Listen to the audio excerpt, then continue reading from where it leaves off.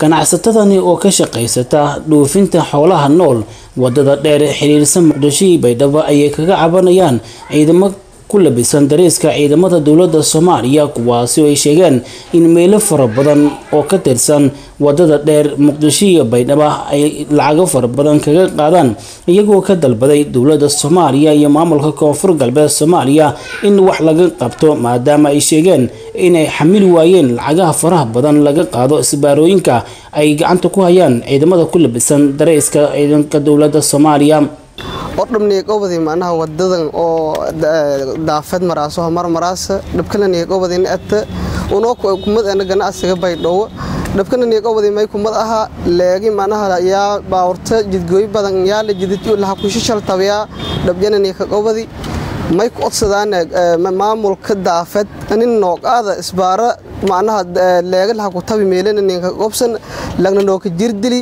Maamulka daafed ma injeediyaan anisu nooqobada dhabkaasna ninka haaya daafed atie oo lagna nooka dilina noo qobsado ku odsadaana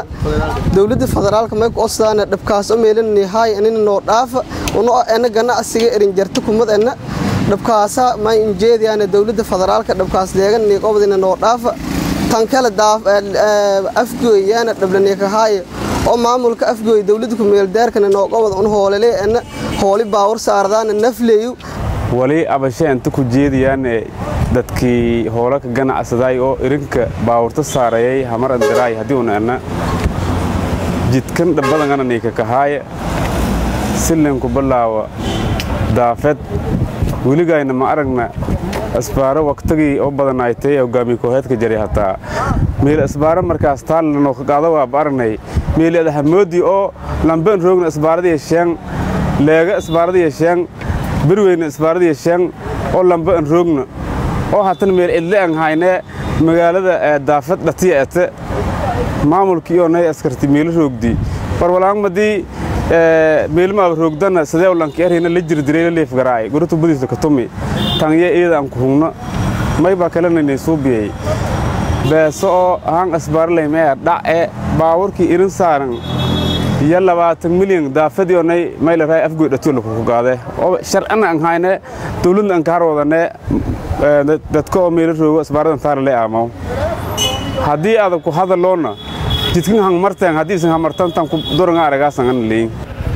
in ciidamadaas usudiriiska ingiliy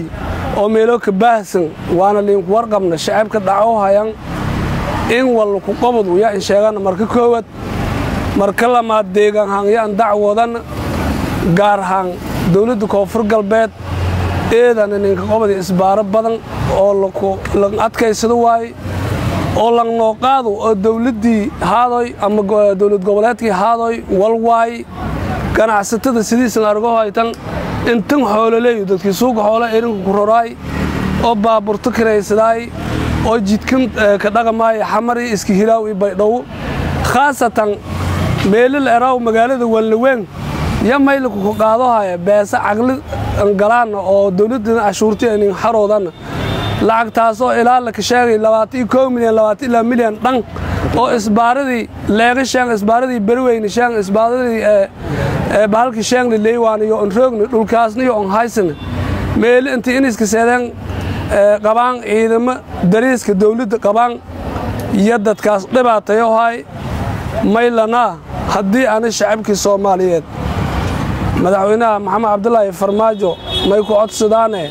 isbaarooyinkan iniisu qaad. Cabashadan ayaan ahayn markii ugu horeysay oo ka soo yeerta gaadiidleyda isticmaasha waddada dheer baydhabo iyo muqdisho kuwaasi oo marar kala duwan ay ka cabdeen ciidamo ku labisan dariiska ciidanka dowladda soomaaliya ay sheegeen in isbaarooyin sharci daraha ay kaga qaadaan lacago aada u fara badan waxaana ay ka dalbadeen madaxda qaranka soomaaliyeed oo ugu horreeya madaxweyne farmaajo oo hore u ballan qaaday ama uu sheegay inay qaadeen isbaarooyinka sharci darada ah kaasi oo ay sheegayaan in waqtigan ay soo korortay cabdiqaadir warcade goobjoog baydhabo